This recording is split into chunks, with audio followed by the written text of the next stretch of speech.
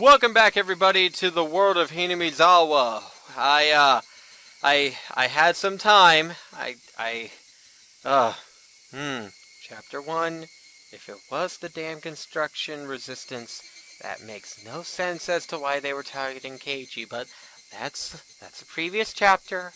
Let's just go forward and just, hmm. I have problems. I have problems with that statement, so it's probably not them. I need to just calm down and just continue the game, because if I don't, this will never get done, and I'll be here all night. And I don't want to be here all night, because holy shit. Holy shit. Anyways, hmm. Last time, we found out that it could very well be someone from the dam construction resistance who is murdering everyone.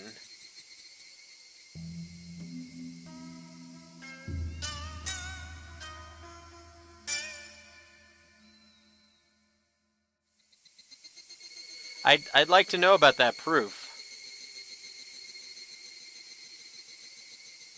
I, I, I'd like to know about that proof.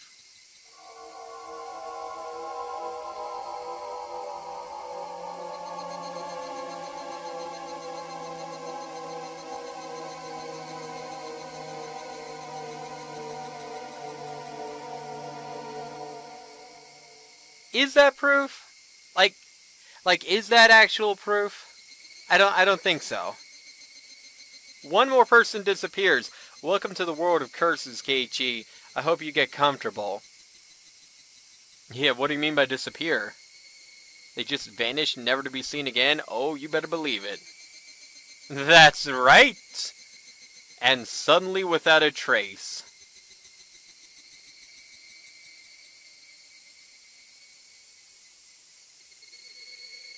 So, as we found out, one person dies and then one person disappears.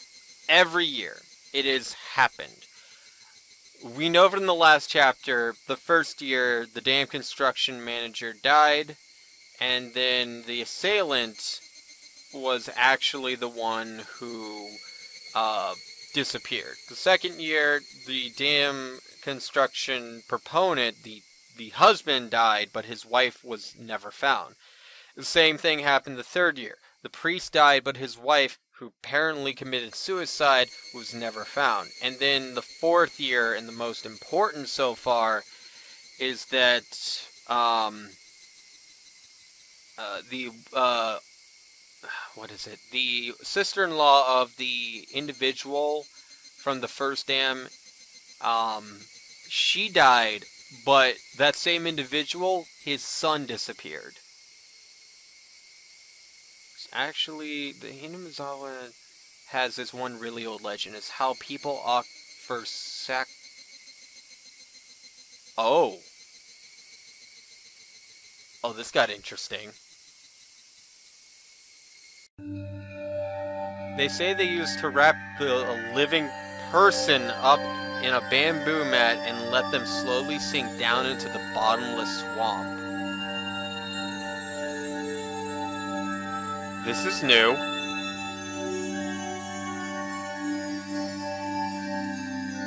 It took three days and nights for them to sink. Okay. That's, you know, okay, at least Umineko was quick with their murders, save for Evatress. But, you know, this is kind of fucked up. Okay, why are you laughing about this shit? This is fucked up. Like, what's the punchline there?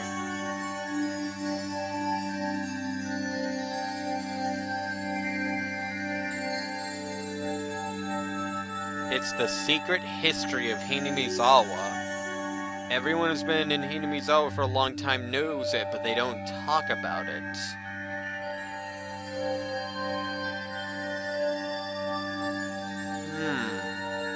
Okay. This is a little bit more information than we got last time. Mainly because there's no time limit, I guess.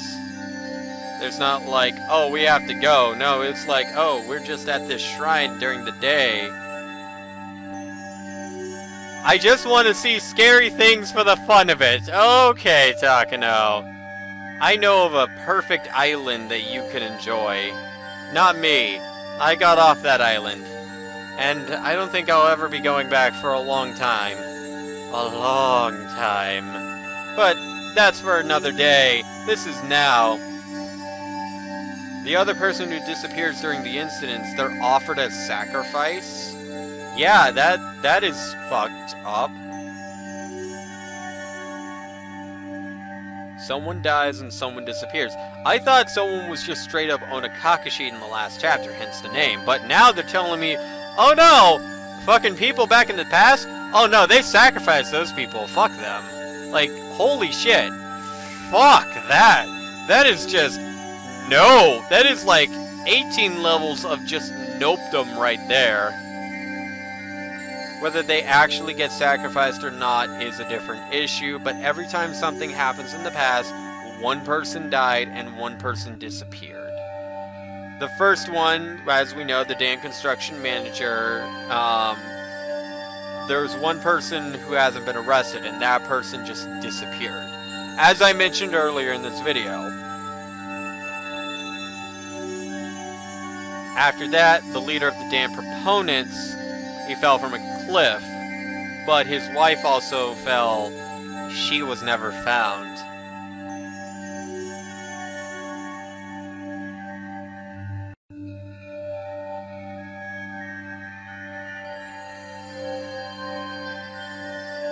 Which, uh, that's... If that's what happened to her, that's kind of fucked up.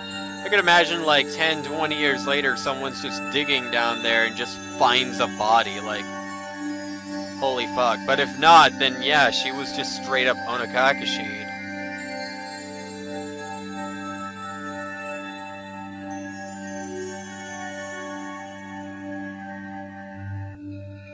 The year after that, the priest, as we mentioned, suddenly fell ill, and his wife left a suicide note.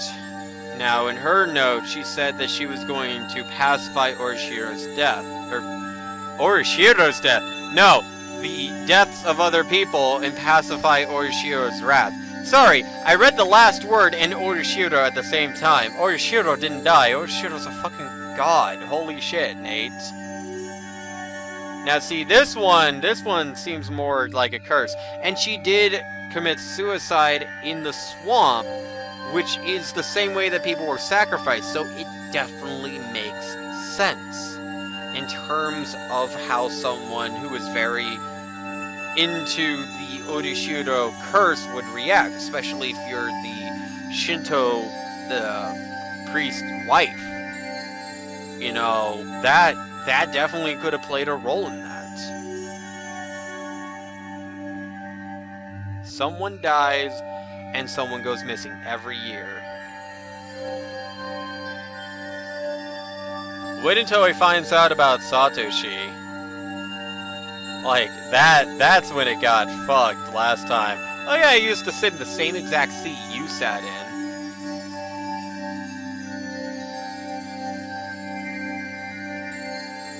Disappeared.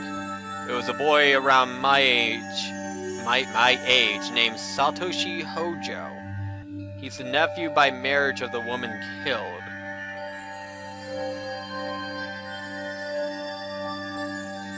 She knew the boy. Oh.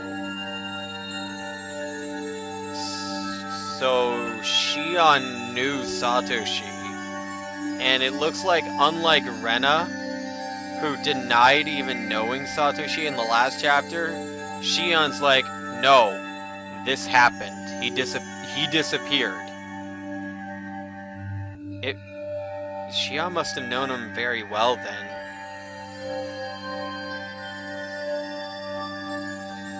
One person dies and one person disappears.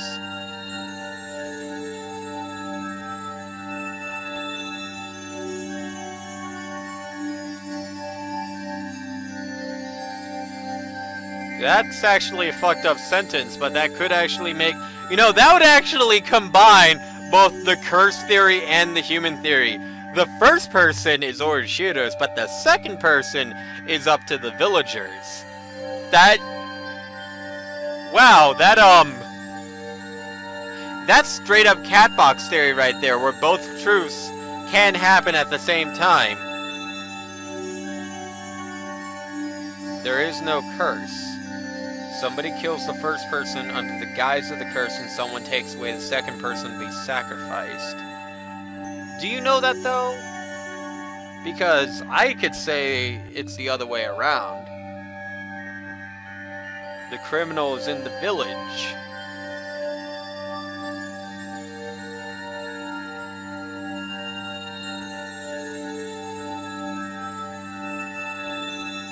We live in the Showa period. It's kind of hard to believe that people are committing murder like it's nothing. N no, no, that that still happens. As unfortunate as it is, it, that that still happens.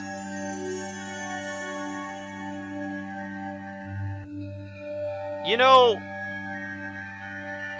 now that I think about it, yeah, I she doesn't visit too much, save for talking with us.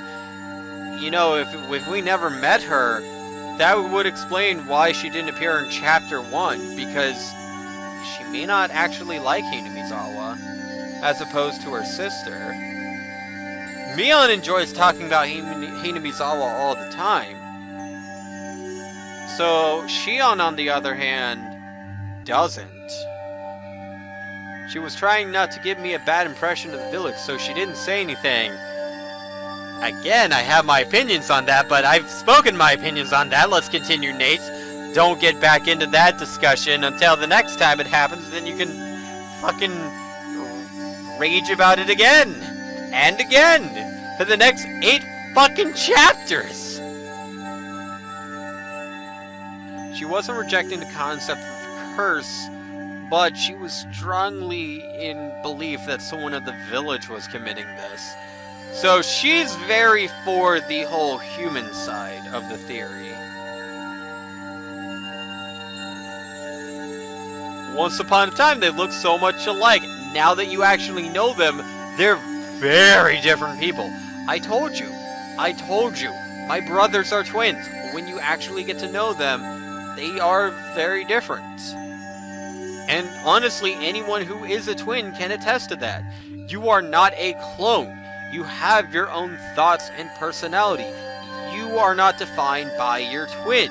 You just happen to look the exact same as someone else. But that someone else doesn't necessarily agree with you.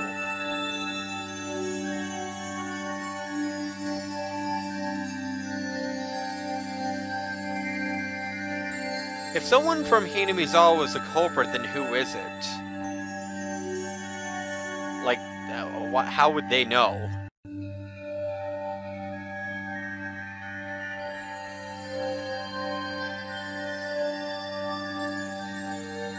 To be fair, it, it may not be from Hinamizawa. It could always be from Shishibone or Okinomiya. Yeah, everything that they said is circumstantial evidence. Do not take it 100% to heart, Keiichi. Because uh, you definitely went overboard last chapter. And probably will go overboard this chapter. This is just going to be a pattern, isn't it?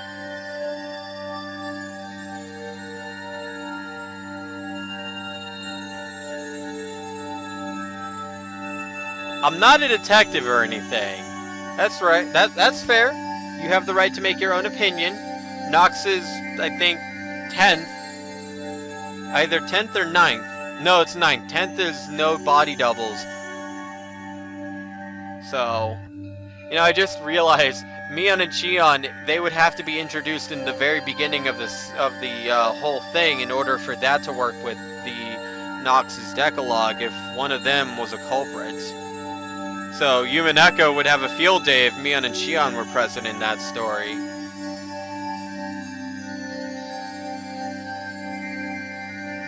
Provided that they introduced Mion early on and Shion early on, I don't think it would be a problem. But it would definitely be, like, it, it would be essentially Chekhov's twins by that point. Like, you would have to use them in one chapter as a lead that the characters would have to look into.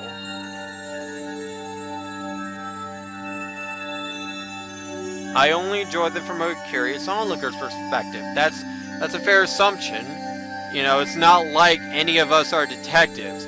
technically the only detective here is Oishi.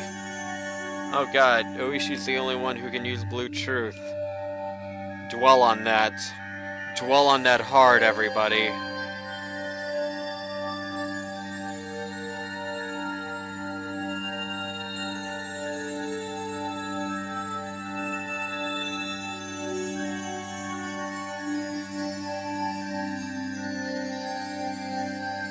I I don't think Shion likes Takano. Yeah, I I don't want anyone to die or disappear either. And hopefully that doesn't happen this time. That's right. It slipped his mind. With all the mysterious events that have been going on, he kind of forgot that tomorrow is the Watanagashi Festival.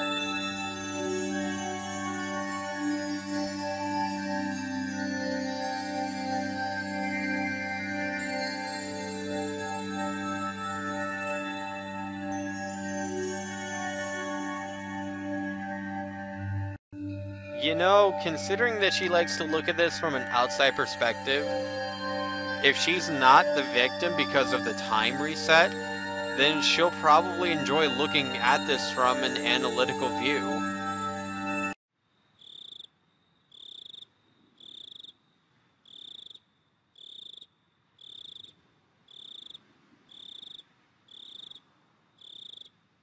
You're teasing the kid too much. Are you? Are you really? Because you didn't have a problem with it last chapter, so why would you have a problem with it this chapter? Because fuck me in the end, am I right? Now Keiichi thinks it's all true. Yeah, and we know what happened when, when he did that in chapter 1. Fucking asked all these questions and people started going oogity boogity on him, and that was not okay. People were being mean to me. And I thought that my friends were committing murder. And they probably did. Or, at the very least, they were fucking possessed by Oyashiro.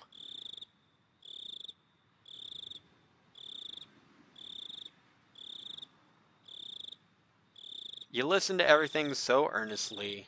Never change, Keiichi. Never change.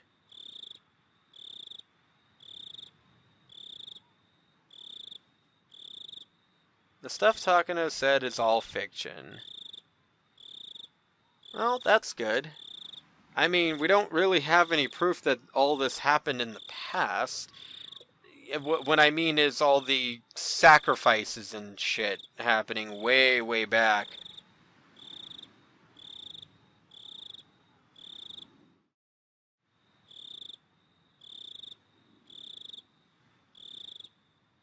Well, at least everything returned back to relatively normal conversations.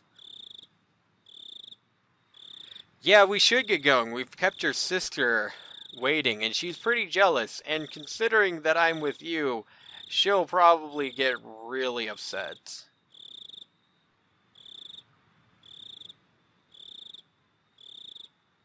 Yeah, sorry, Mion. I, I was having the most interesting conversation.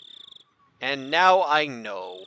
And knowing is a copyrighted catchphrase. Most likely. I actually don't know if that's copywritten.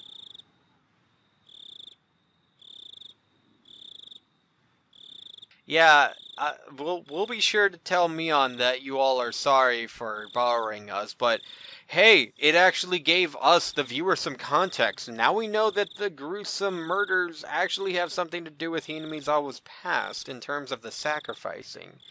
However, we don't have any concrete uh, evidence about that. So, I mean, it's all really up to interpretation. This was a very lore-filled episode. Holy shit.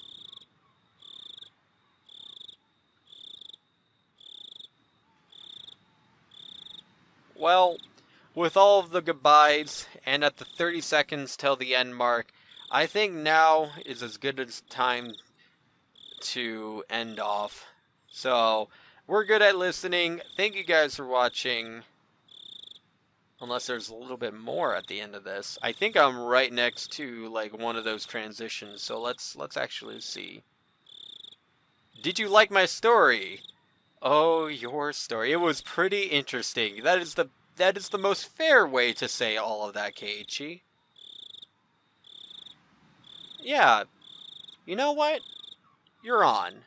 I could always use a little bit more lore to reach my conclusions about what's going on. So next time we'll talk to you on that. Hopefully tomorrow. Hopefully you don't die again. Or wait, no, you're the one who disappeared. Uh, Tomitake died. So, just be careful on your way home from Watanagashi. I don't want this to happen again.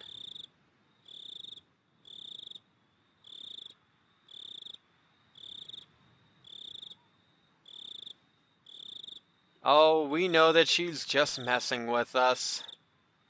She's the type to do that.